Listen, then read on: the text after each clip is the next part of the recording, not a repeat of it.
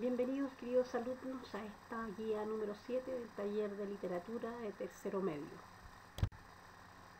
Como siempre recordarles que deben escribir sus dudas al correo apoyo pedagógico lmr.gmail.com. Mi nombre es Gillian Correa, recuerden que soy la profesora del taller y por favor envíen sus dudas al correo.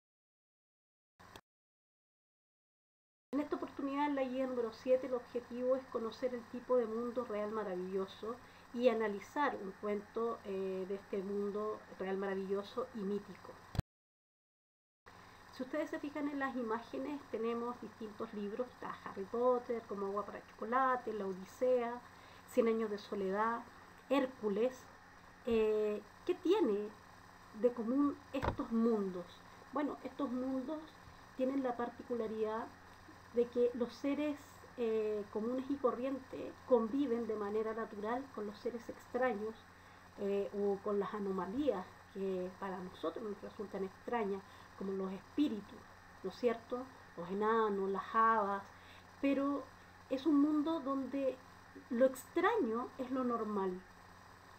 Entonces, uno podría estar en una sala de clases, por ejemplo, y un enano puede entrar y sentarse y seguir la clase con nosotros y a nosotros no nos eh, asombraría. Eso sería un mundo eh, real maravilloso. Por lo tanto, este mundo tiene sus leyes propias. Vamos a explicar un poco, por ejemplo, en la Odisea, ¿por qué es, el mundo mítico? Ah, pertenece al real maravilloso, es mítico, porque aquí Odiseo, Ulises, convive con dioses, con seres sobrenaturales, con sirenas, ¿no es cierto? Con este monstruo de un solo ojo, y a nadie le parece extraño, es natural. Él necesita regresar a, Ítaca y en este viaje, el tema del viaje en tercero medio, y este viaje se, se le van presentando distintos seres. Y no es que lo sorprendan, sino que son parte del mundo de la Odisea, lo mismo que en la Iliada. La Iliada es un texto de Homero también, que habla de los dioses. La Iliada comienza como una guerra de diosas y los hombres conviven con los semidioses. Aquiles es un semidios, a nadie le llama la atención. Los dioses siempre están presentes y conviven con los humanos. Por lo tanto, estamos frente al mundo mítico con las leyes del mundo real maravilloso, donde lo extraño es lo común. En el caso de eh, Harry Potter también. Eh, es cierto que en una parte hay una extrañeza de parte de, la familia de Harry Potter, pero ellos saben que vienen de un linaje de magos. Por lo tanto, entrar a esta escuela, ¿no es cierto?, eh, con todos estos elementos maravillosos también pertenecen a la cotidianidad. En, en Cien años de soledad, lo mismo. Los seres extraños, los seres anómalos, o las situaciones anómalas conviven de manera natural con la gente del pueblo. Este Macondo que se construye a partir de Aureliano Buendía y Úrsula eh, es un mundo real maravilloso. Los espíritus conviven con ellos, las almas conviven con ellos y a nadie le sorprende. En algún minuto el pueblo eh, no tiene memoria y tiene que nombrar a las cosas, ponerle etiqueta a las cosas para no olvidarse. Eso también es una característica del mundo real maravilloso. Estos seres, por ejemplo, este, este cancerbero de tres cabezas que está a las puertas del infierno. Aquiles, Ulises, los dioses pueden viajar a los infiernos, podrían. En el caso de Hércules, viaja a los infiernos. Ahí está, eh, vemos el personaje de Hades. Eh, cuando muere su, su, amada, él viaja a los infiernos y vuelve. Bueno, eso eh, pertenece al mundo real maravilloso. ningún humano puede viajar a los infiernos y volver, ¿cierto? Sin que cause extrañeza. Bueno, en el mundo real maravilloso, en esta animación, nada es extraño. Por lo tanto, el mundo de lo real maravilloso y de lo mítico, todo lo extraño es común, a nadie le sorprendería.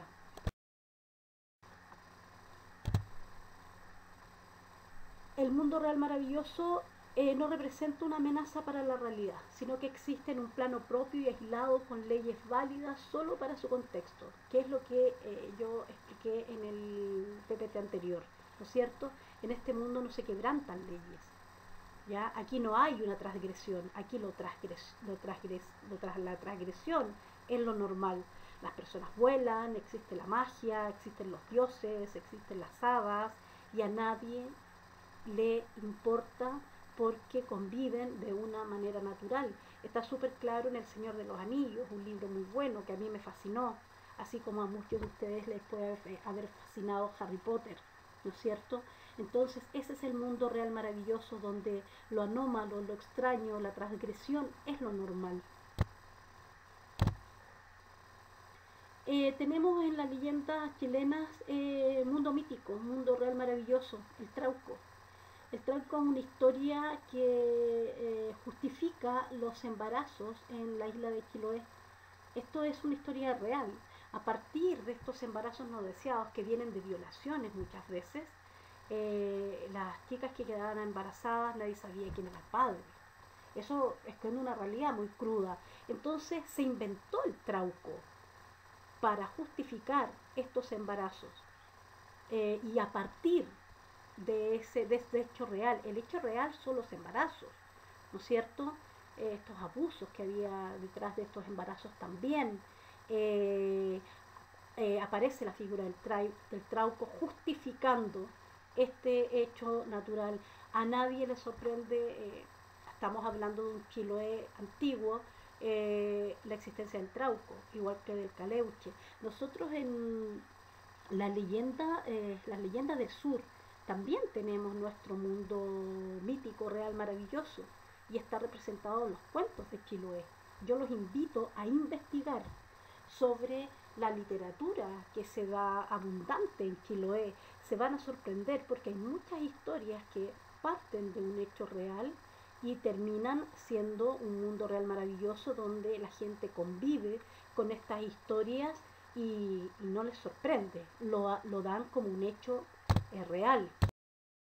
En esta oportunidad ustedes tenían que leer El ahogado más hermoso del mundo, un cuento de Gabriel García Márquez, que habla de un ahogado que lo encuentran los niños, ¿no es cierto? Al verlo en el mar, piensan primero que es un buque de guerra, luego piensan que es una ballena y luego descubren que es un ahogado. Y aquí viene la primera característica del mundo real maravilloso. Ellos comienzan y juegan toda la tarde enterrándolo y desenterrándolo al ahogado. Eso ya es una característica. Porque si en la real, si en el mundo cotidiano algunos niños se encontraran como muertos en la playa, van inmediatamente a decirle a sus padres o a la policía. Aquí no. Aquí los niños lo encuentran normal y comienzan a jugar con este ahogado hasta que eh, los adultos lo encuentran y lo cargan hasta llevarlo al pueblo. Se va relatando el cómo el ahogado entra en la vida del pueblo y se comienza a preguntar de dónde es. Eh, Gabriel García Márquez relata que este pueblo es pequeño, vive muy poca gente, ¿no es cierto? nos habla del el espacio físico del pueblo, asociada un par de preguntas. Dice que hay unas 20 casas eh, con patios de piedra, sin flores, eh, un mundo desértico, un pueblo desértico, la tierra era escasa. Incluso las madres tenían temor de que el viento se llevara a los niños, ¿ya? Y a los muertos que les iban causando daños los tiraban por los acantilados, es decir, ya hay una referencia a otros ahogados. Por lo tanto, cuando encontraron al ahogado, bastó que se miraran unos con otros para saber que ninguno de ellos era el ahogado, que nadie faltaba. Aquella noche los hombres salieron a averiguar en otros pueblos vecinos eh, si el muerto, el ahogado era de ellos. Mientras tanto, las mujeres se quedaron con este, con este ahogado, limpiándolo, ¿no es cierto? Mirándolo, observándolo, y por supuesto elucubrando cosas con respecto a este ahogado, quién era, de dónde venía. Eh, por lo tanto, el cuento en una gran parte se da con este relato y estas ideas que tienen las mujeres de este ahogado. Se abre la imaginación con este, con este hombre, este, este ahogado que era mm, grande. Eh, las mujeres estaban fascinadas por su desproporción y su hermosura textual. Las mujeres decidieron entonces hacerle unos pantalones con un buen pedazo de vela cangreja y una camisa de bramante de novia, es decir, eh, el pedazo de vela es de los barcos, ¿no es cierto? Eh, y mientras cosían eh, la ropa para el cadáver de este ahogado, se iban haciendo preguntas sobre la vida de este hombre. Finalmente estaban muy impactadas por la belleza y la hermosura de este ahogado. una de las mujeres más viejas, no tan impactada con la belleza, eh, y la hermosura de este hombre, lo queda mirando y tranquilamente le dice, tiene cara de, Esteban, ¿cierto? Mientras las más jóvenes fantaseaban con él, ella le da un nombre. Este también es una característica del cuento, la humanización. Humanizar a este ahogado, darle un nombre. Gabriel García Márquez detrás de esto humaniza a este protagonista.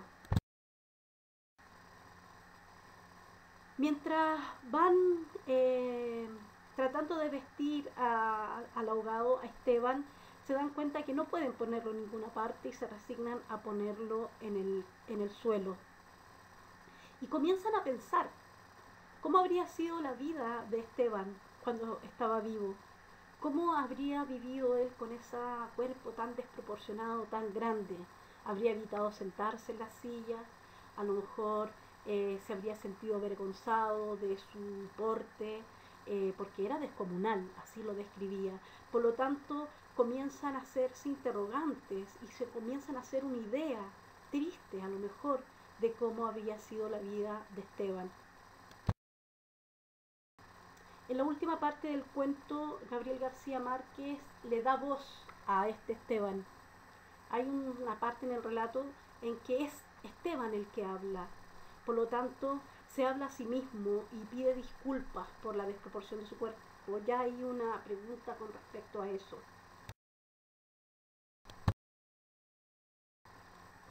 El cuento tenían que irlo leyendo de manera eh, parcelada, bien atentos, para poder ver todas las características que tiene el mundo real, maravilloso y mítico. Es un cuento muy hermoso, es un cuento que a mí es uno de los cuentos que más me gusta de Gabriel García Márquez. Hay otros. Eh, en De Amor y otros demonios también ahí hay una historia, eh, el mismo nombre lo dice, ¿no es cierto? Eh, donde se ve lo real maravilloso. También hay cuentos sobre los ángeles, un ángel caído. es bueno, quiero que investiguen sobre los textos de Gabriel García Márquez se van a sorprender y los invito a leerlos porque realmente son muy tiernos en la forma de narrar. Eh, para mí personalmente Gabriel García Márquez es un gran expositor del mundo real maravilloso. Eh, aunque el padre del mundo real maravilloso, tenemos que decirlo, es Alejo Carpentier con Viaje a la Semilla. Sin embargo, Gabriel García Márquez escribe de una manera... Eh, soberbia. No por nada se ganó el premio Nobel de literatura. Y aquí venían las preguntas, ustedes tenían que desarrollarlas. Eh, yo les voy a dar más las respuestas que ustedes tenían que más o menos dar. La pregunta número uno, ¿qué pensaron los niños a ver este promontorio oscuro, sigiloso que se acercaba por el mar? Eh, bueno, que era un barco enemigo, después se dieron cuenta, pensaron que era una ballena, y después se dieron cuenta de que era un ahogado y pasaron todo el día y toda la tarde jugando con él. Eso es lo anómalo asociado a lo cotidiano. A los niños no les sorprende el ahogado, juegan con él, ¿cierto? En la pregunta número dos, ¿qué notaron los hombres en el ahogado? Eh, que era muy pesado, que pesaba demasiado. Entonces se dijeron que tal vez el tiempo a la deriva y el agua se le había metido los huesos. ¿Cómo se describe al pueblo? Ya lo había dicho anteriormente, el pueblo es desértico, es pocas casas, 20 casas, patios sin piedras, ¿no es cierto? Eh, la tierra era escasa, las madres tenían miedo de que el viento se llevara a los niños, pero el mar era manso y pródigo, es decir, un mar tranquilo y pródigo en el sentido de que eh, ellos eran pescadores. Por, lo tanto hay un, un, contraste ahí entre lo que es la tierra y lo que se va sucediendo con la característica de los personajes, porque los personajes son bondadosos.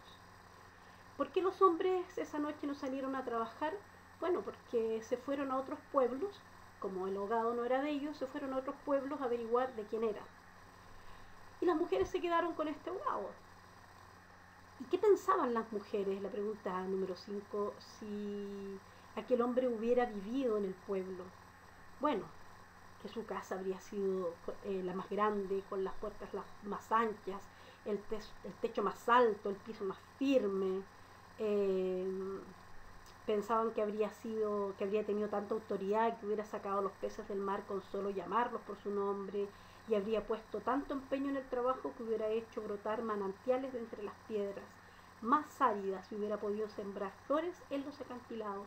O sea, le dan una dimensión casi eh, omnipotente a este hogado, ¿no es cierto? Si es que hubiese vivido en el pueblo. Aquí las mujeres son importantes en, cuanto a la imaginación que tienen con, respecto, con respecto a este abogado, pero si nosotros hilamos más profundo, son mujeres amorosas, ¿cierto? Empáticas, están ahí velándolo, atendiéndolo.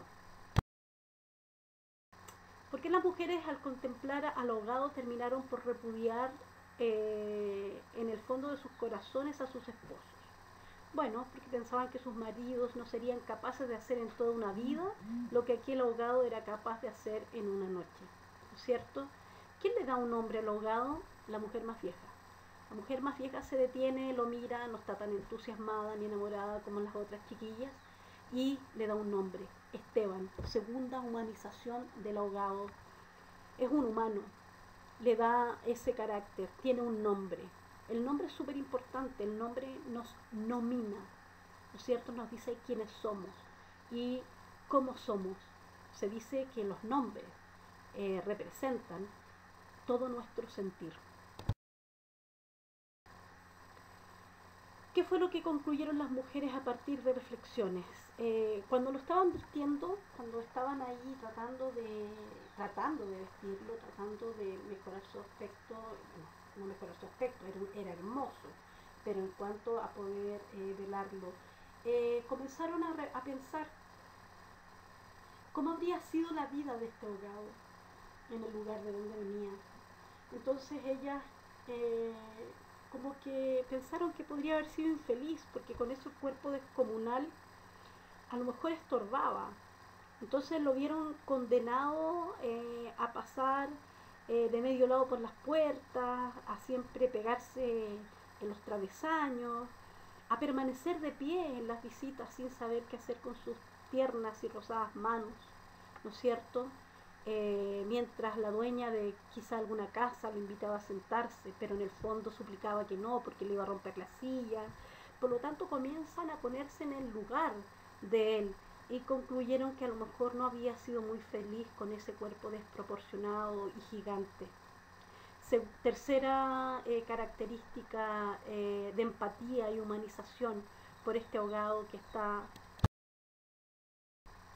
¿Qué sucedió con las mujeres inmediatamente después que le taparon la cara? Vino la pena, ¿no es cierto? Es como cuando uno cierra el féretro. Cuando se cierra, cuando se tapa el rostro eh, de quien se va, eh, es el fin, ¿no es cierto?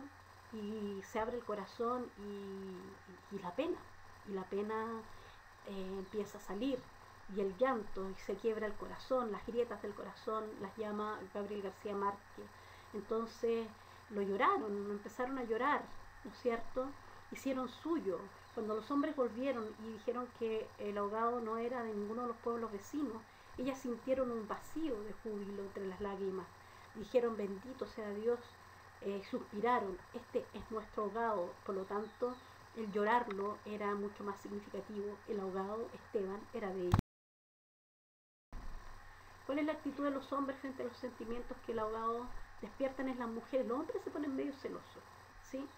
Eh, empiezan las suspicacias con respecto a este hombre tan perfecto, tan hermoso, tan grande, y lo único que querían era deshacerse de este ahogado sin embargo, frente a esa actitud, eh, una de las muchachas eh, destapa, la, le saca el velo de la cara y los hombres lo ven porque no lo, no lo habían visto bien arreglado, ellos se fueron a buscar eh, a, otros pueblos de donde eres ahogado, por lo tanto no lo habían visto.